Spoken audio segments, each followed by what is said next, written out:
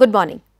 Welcome to this online course on engineering or architectural graphics part 2 and I am your course instructor Professor Avlokita Agrawal from Department of Architecture and Planning IIT Roorkee. In this course we are going to learn about isometric drawings, isometric projection. So, if you are familiar and if you search uh, the available courses on NPTEL, you would find that we have already completed part 1 of this course which was totally focused on orthographic projections and we already completed the entire range of discussion related to orthographic projection. In this particular course, we are going to be talking about isometric projection.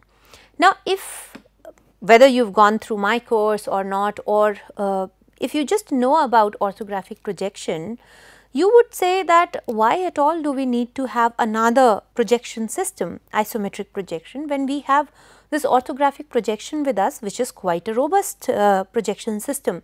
So, we have uh, all the possibilities of uh, dimensioning of communicating our idea, our uh, creativity through those two dimensional drawings which is what we saw when we were doing orthographic projection. So, what we were doing in orthographic projection was that we were taking these parallel projectors and we were taking different views of the same object and we were relating these views. So, what we see from the top was a top view, what we see from the front was a front view and what we see from the side was a side view. There was also an oblique plane and we could also have oblique projections and things like that. And together when we read all these two dimensional drawings uh, simultaneously, we will get this entire representation of 2D drawings which are representing a 3D object or whatever idea you have in your mind. This is what was called orthographic projection. So, here what we are doing is we are taking a set of these drawings. So, 1, 2, 3 or more depending upon how complex the object is and how many drawings we need to represent it fully with different types of lines, this nomenclature all put together.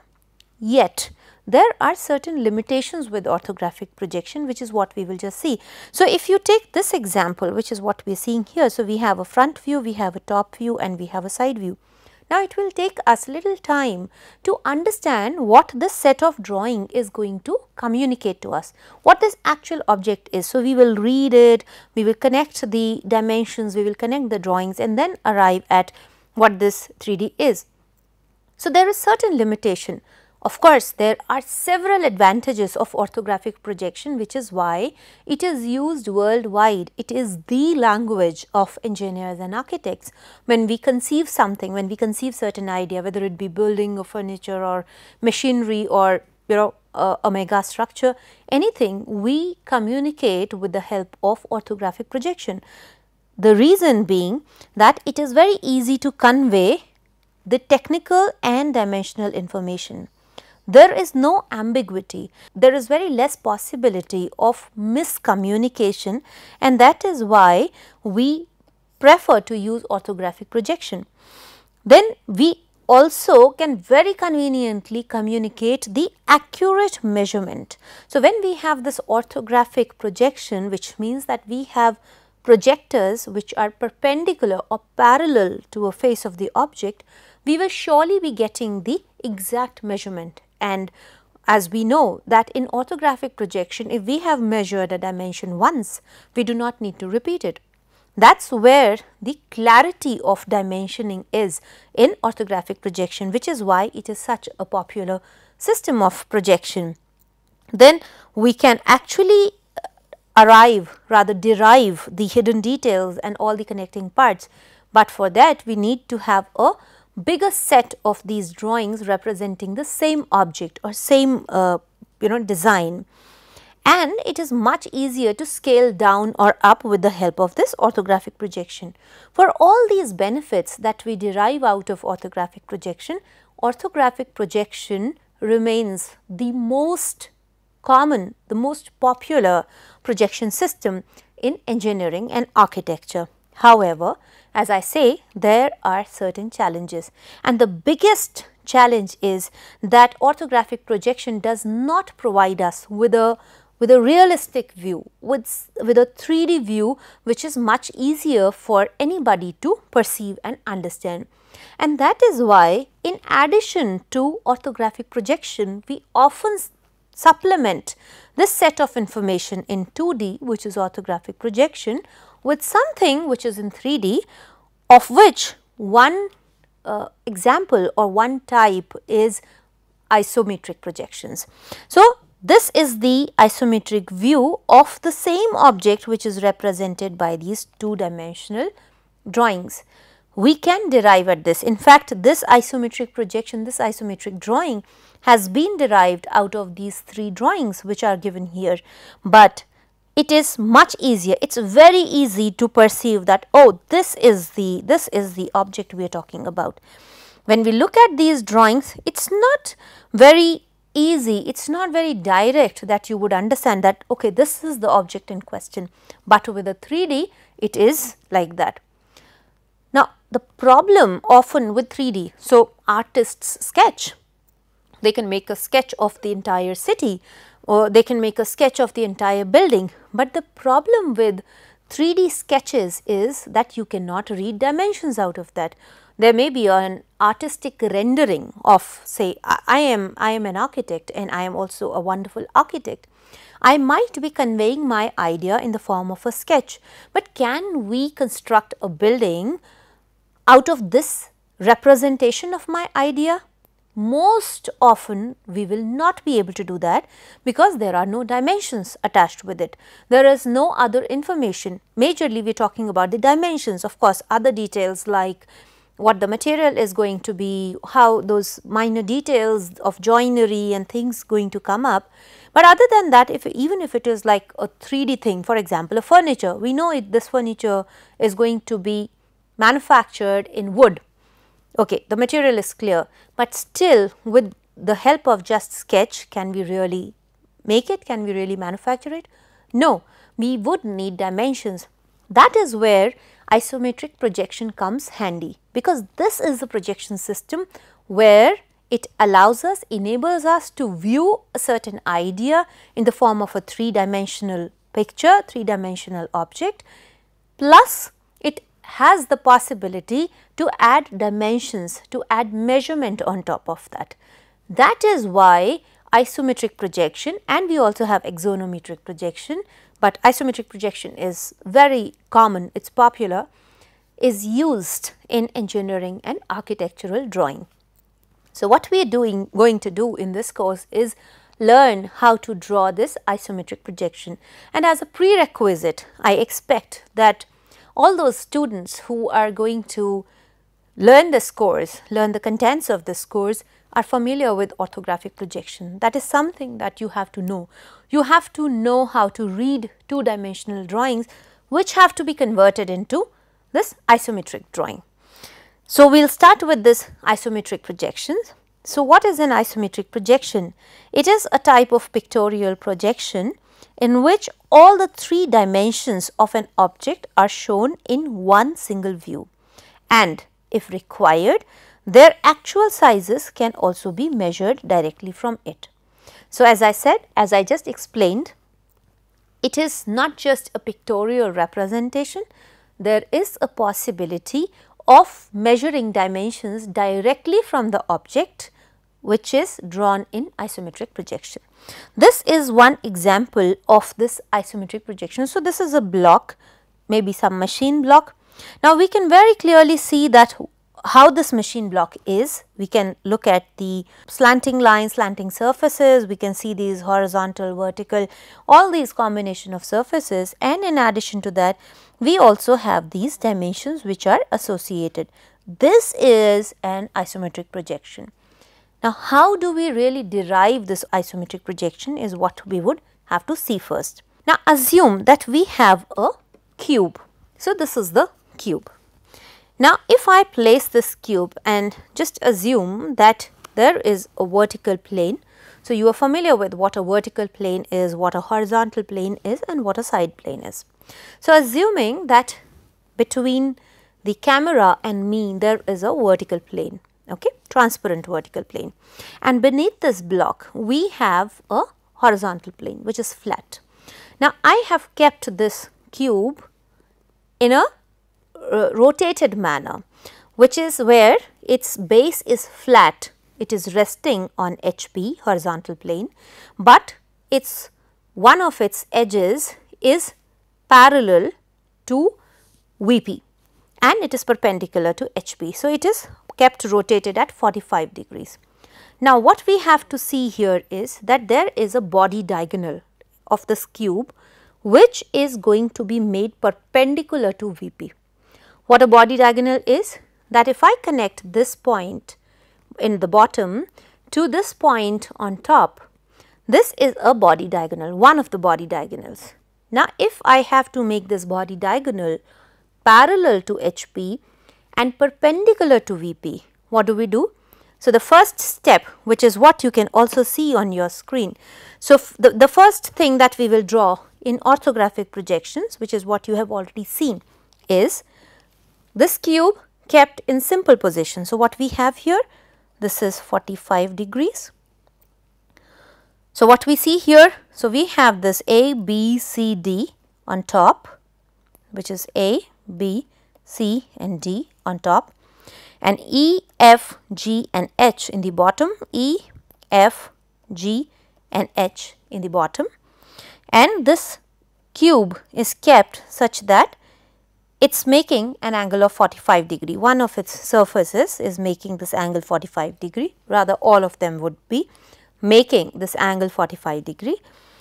And this is the body diagonal which is connecting E to C. So, this is in elevation you can see it very clearly, in plan it will still appear to be a straight line which is parallel to VP. So, this is this body diagonal EC. So, now what we have to do is we have to make this EC perpendicular to VP and parallel to HP of course it will come out like that. So, the second step of this is that I rotate this cube on this point on this vertex by certain angle such that this body diagonal is now parallel to HP as well as VP. So, what we did here is that we are rotating it about say G here, G is the point in the bottom. So, we rotate it like this. So, we will first be seeing this rotation happening in the elevation because very simply we will be seeing this rotation, this angle in VP and that is what we do all the time that when we have a double rotation coming, we first do it in one of the planes and then bring it down to the other plane or vice versa. Here seeing it in elevation is easier. So, we will be doing it there. So, what we have done whatever this angle was if we rotate this particular image this particular image by this say x degrees we will get this EC coming to be parallel to HP and VP both. So, what we have done here is about this point we rotated it like this. Now, you must be seeing it from the front from that side and this is what we are seeing here in the in the bottom in the plan. So, we first rotate this entire rectangle it is exactly the same it is just that this angle which was here has been so this is the same angle x degrees. So, we get this, this is how. So, this is the line which is parallel to HP and VP and we just move this picture, this rectangle and all the associated lines like, like this. Okay. So, this is what we have got. Now, we project it back. So, we take the projectors just as we always do in orthographic projection, we bring it down all the points and this is what we get. So, this is A, B, C, D, this is the top square which we are seeing this is E, F, G, H and what we had as a as a diagonal we had EC. So, this is E and this is C. Now, you can see this EC is parallel to HP and VP which is what we are seeing here also. Now, what do we have to do? We have to rotate this in such a manner that now this EC is perpendicular to VP and remains parallel to HP.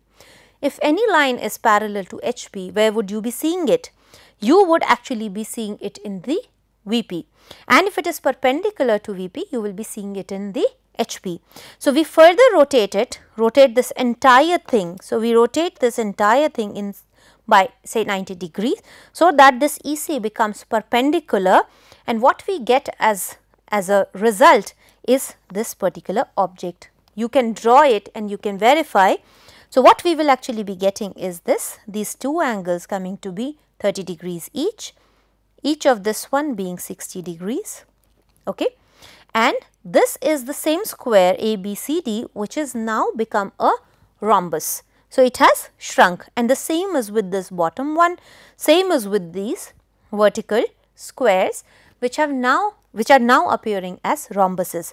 This is the isometric projection which we are seeing. Now, if we have to derive the dimension of this square further, so I am just taking, so this is this image which is here, I am just taking it here. Okay. So, what we had? We had this A, B, C, D these 4 points this is the top square and we also have this E, F, G and H which is the bottom square. So, what and these angles I told you this is 30 and this is 60 you can draw and you can verify. Now, what we have is this is the resultant one which is actually the isometric projection. Now, what we will do about this diagonal BD we can make the original square. So, we can actually make it like this which is going to be the actual square, but we will just have it have it like this the actual dimension of the square. So, this is the true length right. So, this is the true length and this is the isometric length.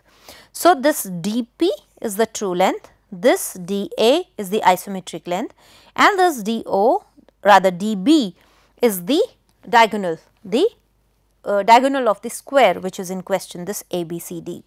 Now, if we look at this triangle ADO, so we know that this entire angle is 45 half of 90 and here this one is 30. So, this is 30 the remaining one becomes 15. So, if you apply trigonometry here you will find out so, you can go through this entire calculation dA by DO, dP by DO, cos 30, cos 45 and eventually what we have to do is we have to arrive at dA by dP which is 0.815 approximately 9 by 11 parts. So, the isometric length is reduced slightly reduced from the true length by a factor of 0.815 or 9 by 11 times. So, this is the what you get out of here this particular is the isometric scale.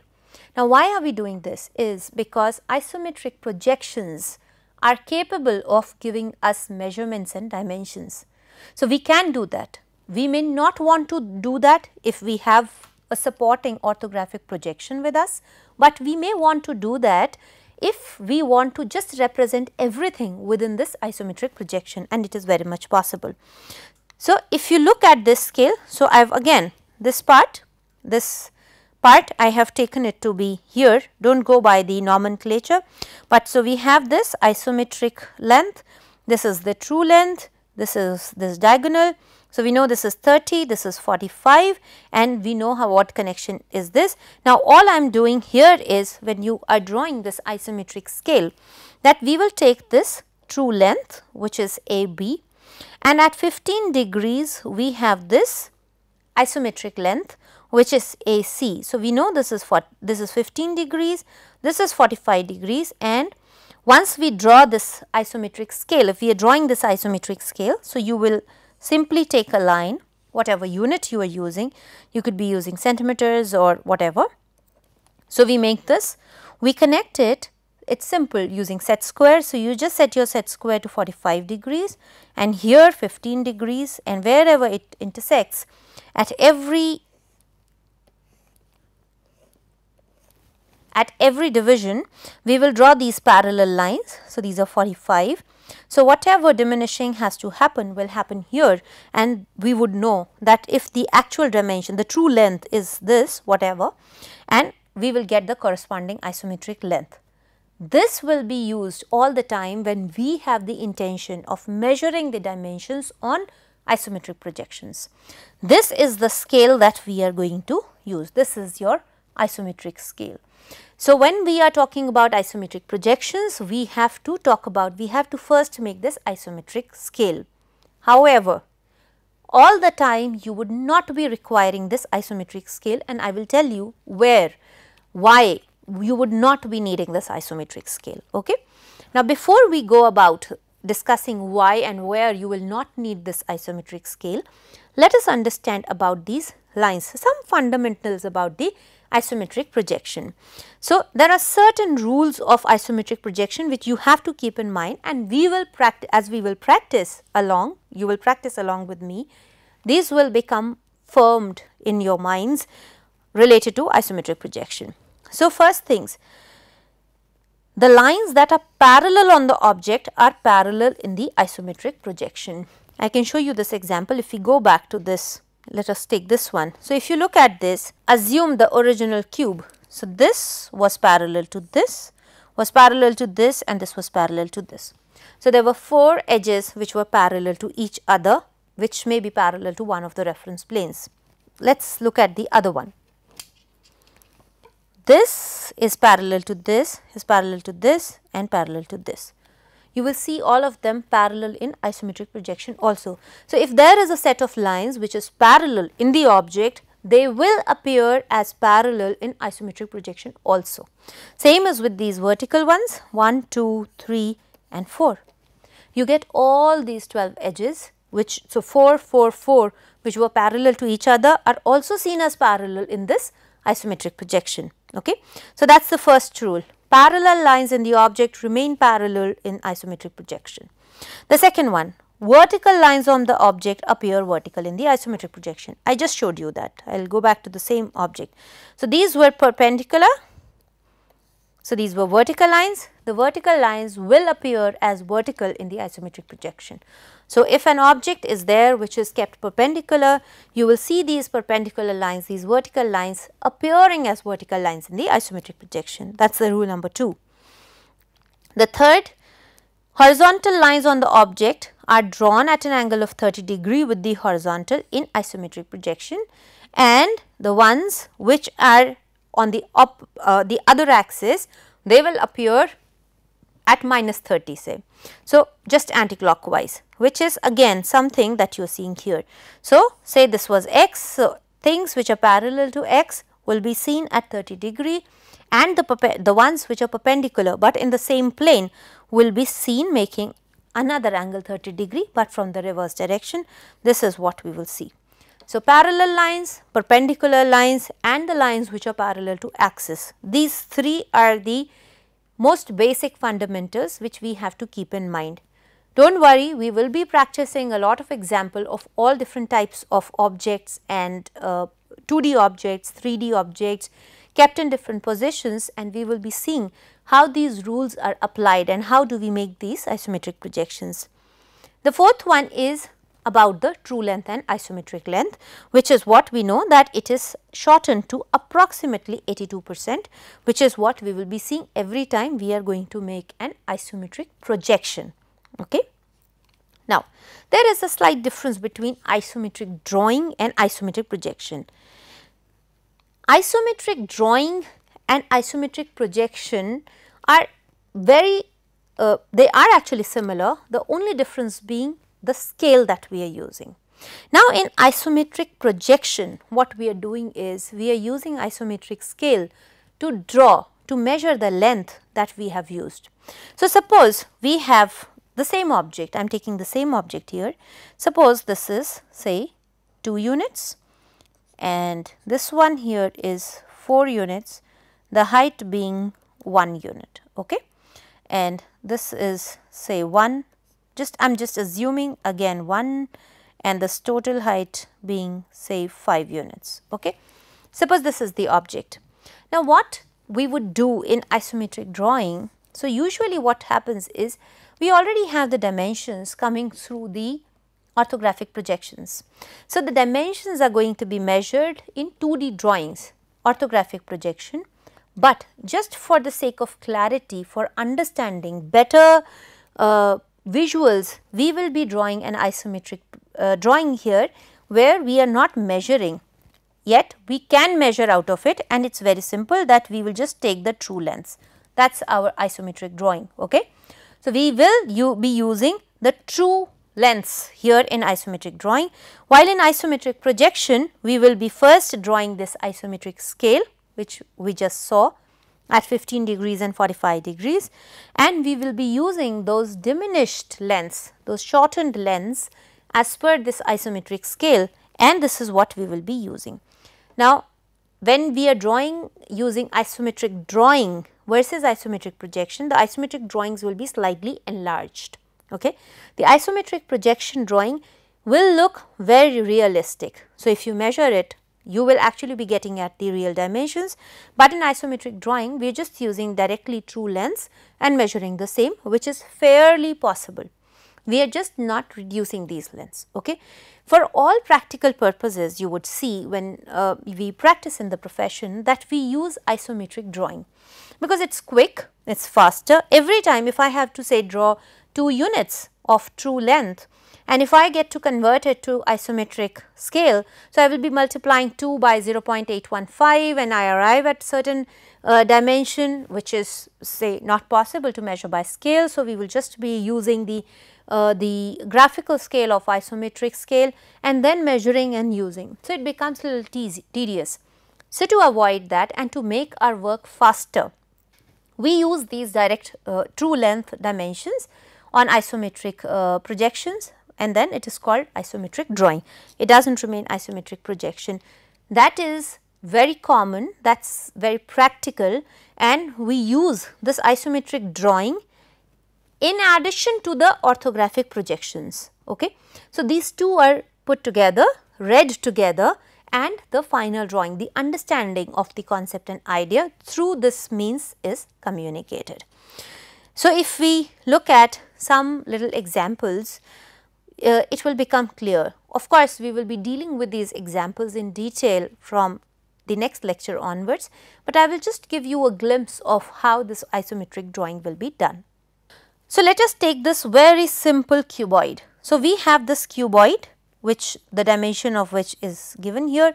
We can assume any scale, we can reduce it of course, we will have to take the scale. So, 30 centimeter by 60 centimeter by 90 centimeter. Now, if you look at this, Depending upon how it has been kept, we will be drawing this isometric drawing here. So, what we have is we have this one rectangle here, another one which is here and this third one. So, what we simply uh, suppose I assume that this edge is actually parallel to x axis.